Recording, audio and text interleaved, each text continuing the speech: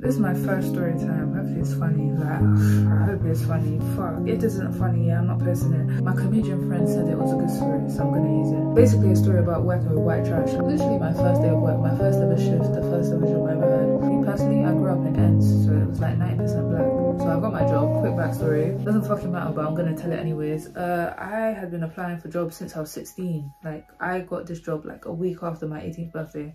And it's literally because of nepotism. Like I'd been applying non-stop Tesco, McDonald's, Sainsbury's, Lidl, Aldi. When I tell you no one even wanted to do an interview with me.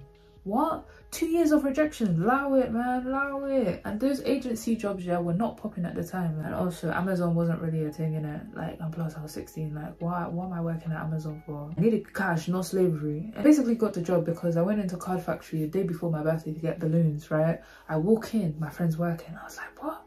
What, you working? Like, like this is five minutes from my yard like what are you doing? And he's like oh yeah like i just got the job da, da, da, da, i'm telling him oh like how did you get the job? Fam i've been applying for years. He was like fam i can just put in a good word like no no worries. I said yeah are you right? And he was like yeah just drop me your number in it got me the job then next fam i had an interview within three days.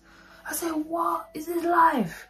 Is this nepotism? Oh my gosh and obviously nepotism through the connections I already had in it. Like we met at NCS. I don't have connections through my mum. Like she's a healthcare worker. Like she's a nurse. Like I'm not trying to be a nurse. Power to the nurses, yeah? I'm not fit for that. I will punch a patient in his face. Like this UK racism, yeah, is subtle until they hit the age of 55. Then they want to be flabbergasting with it. You want to call me the M word I live? That is crazy. Fam, I will unplug you so fast. I will send you to hell on an express train. Anyways, do the interview, all nice. I get the job. They're telling me, yeah, your first shift is this day. So I clock in. The people that are there are two managers and this new girl. I'm new, obviously, but she's new as in from a week ago. So she just started a week ago, right? So I'm thinking, oh, cool, da, da, da. She looks kind of my age and stuff. So I'm like, oh, whatever, innit?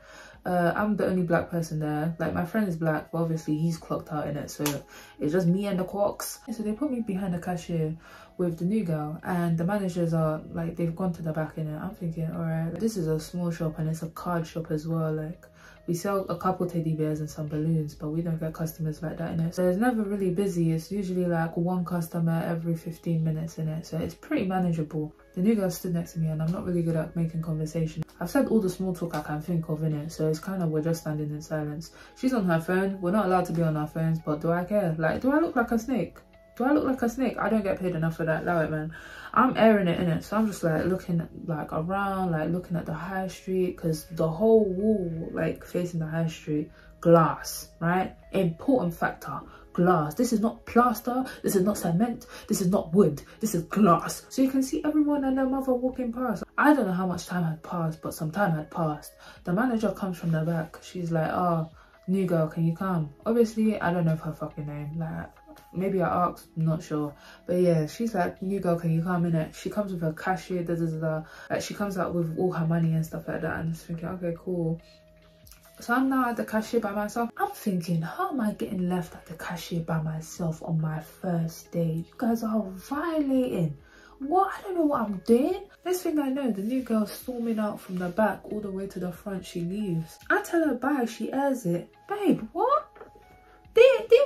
Ask each other how our days were going? Where's this attitude coming from? I'm thinking, you know what, maybe she didn't hear it. In my mind, I'm thinking her shift is over. No foul, no play. I'll see you tomorrow. But now in hindsight, the way she aired me, why did I even say bye? I'm the only person of colour in this establishment and I'm not minding my own business. Bye, you know. I should have told her to suck her mum the way she was giving me that cold shoulder.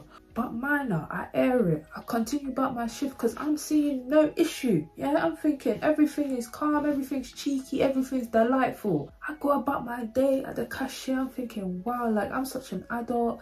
Like I'm a big woman now. I got my first job as soon as I turn 18. Da, da, da, da. I'm gonna, uh, what am I gonna do with my first paycheck? Like I'm working this shift, this shift, this shift. Da da da da. Like money's gonna add up. Like you know, this is the start of my legacy, my start of my empire. All that rubbish, yeah. That that capitalism feeds you. Fuck capitalism. Closing time comes. Shop closes, I think five or six. I can't remember, right?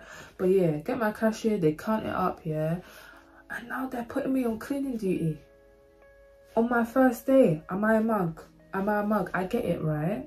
I get it. It's part of the job description. But if you wanted to leave at 5.20, you should have been cleaning up during that counting session, right? But no, now we're leaving at 6.30 because you wanted to be doing fuck all in the back, drinking your tea and coffee. Your breath stinks, babe. And there's two of you, two managers sitting on their asses, doing fuck all. And now that I finished my cashier job, standing all day, you want me to sweep and mop the floor? You know this is sounding like racism? Anyways, I sweep the floor and mid-mop. You know, minding my business, just thinking, okay, like I'm gonna tell my mom, mid-mop. Boosa, boosa, boosa on the door. Excuse me? Excuse me, cars have never been that deep. These cars are 59p max right? Maybe one pound if you want the Christmas set, but 59p max. Why are you breaking the door? Are you out of your fucking mind? I look at it, yeah? Me, I have no chest. I'm 18. I'm a young babe. I'm not fighting any man for anybody. I look at the door, babe. It's Phil Mitchell and his hooligan. No, there's no way. This man were what? Six one, six two? I said, not in this life. Huh? Me shaking like a fucking leaf I'm like, oh, we're closed. We're, we're closed. Yeah? These man, boss, open the fucking door. I said, no, no. Mm. I'm going to the back. You must be out of your mind. Who's opening any door for you? We are closed. Yeah?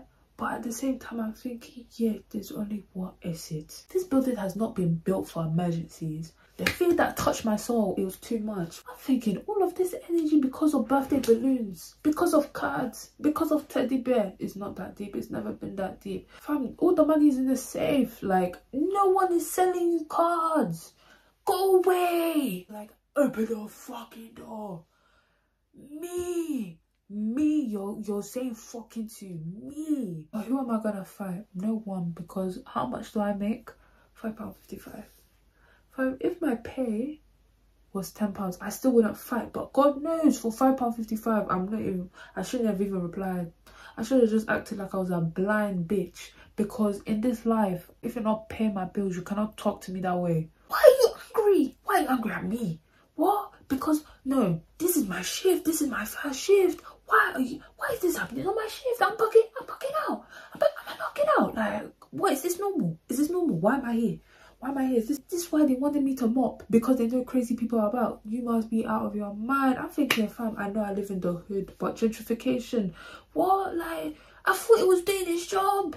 I obviously run to the back room because if anyone's gonna get beat up, it's the two white women. It's not me, sorry. Do you know how much a large Big Mac meal is in London?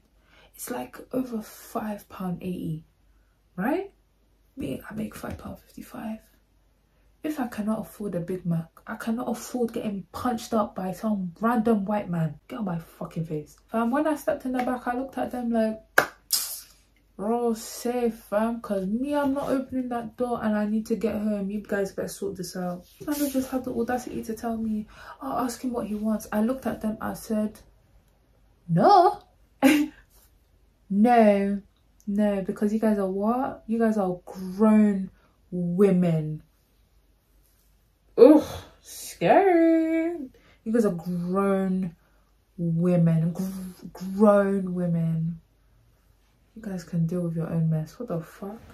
Why is that my business? Why is that my business? Since when was that my business? Why should I put myself in firing range? You guys speak the same language? Go and talk to your mates. It's not me. Sorry. I sent those women to go and get trampled because feminism can only go so far in this life. You made me mop, you made me sweep. Now I should die. So now that I'm safe, I'm undercover, I've sent these women off to their destiny. Now I'm peeking around just to see, you know, keep myself updated so I can feed back to my friend when he works tomorrow. And plus, you know, you never know. If this escalates and the police come, I need to give a accurate report. Me, CPR, no, I don't know that still, like, that's not my, that's not my issue, fam.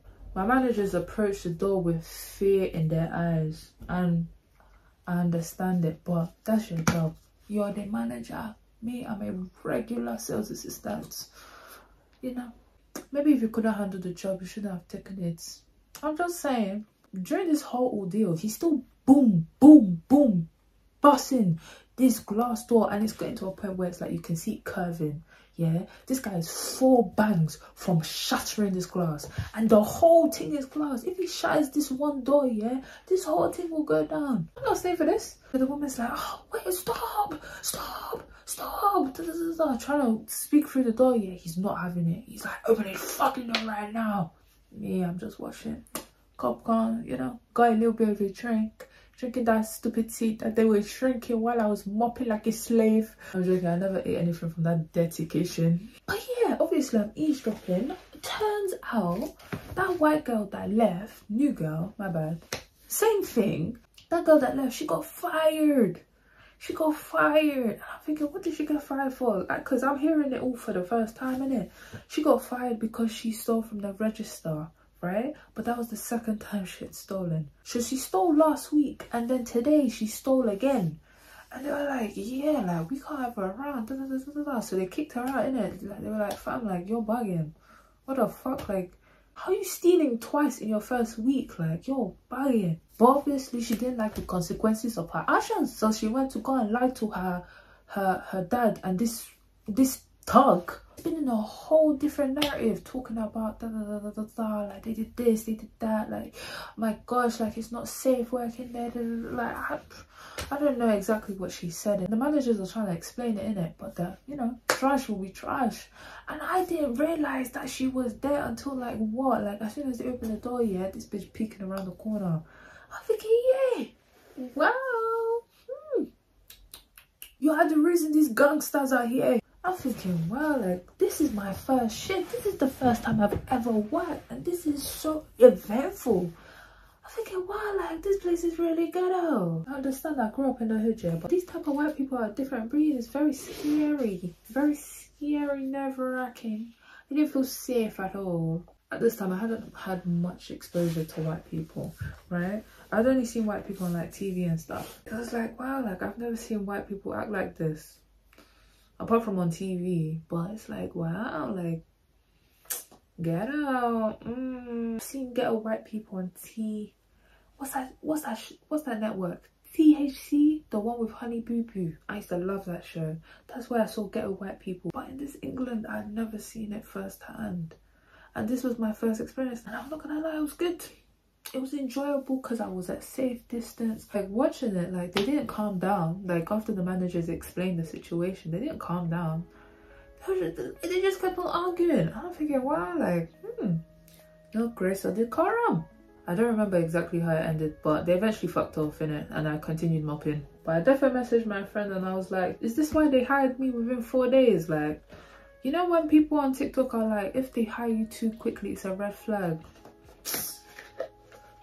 the red flag was flagging. And I didn't know me I was 18 at the time innit but now I'm a big girl. I know if the hiring process is underneath a week these people are desperate. But yeah shout out to my friend we were the only two black people there and it was fun because we were together. But the second he quit i left as well because in this life safety in numbers you must be out of your mind if you thought i was going to stay there without some solidarity out my face these people are crazy but anyways i hope you laugh i hope you enjoyed yourself you know if you want to subscribe you can subscribe if you want to like you can like guys if you want to leave a comment you can leave a comment it's a bit overwhelming to read comments but it's like oh you know comment if you want to yeah, that was my first story time. My life's not that eventful, so don't expect like better story times. Like I, I choose peace a lot. Like, that's why my blog list is so long. But yeah, have a good day.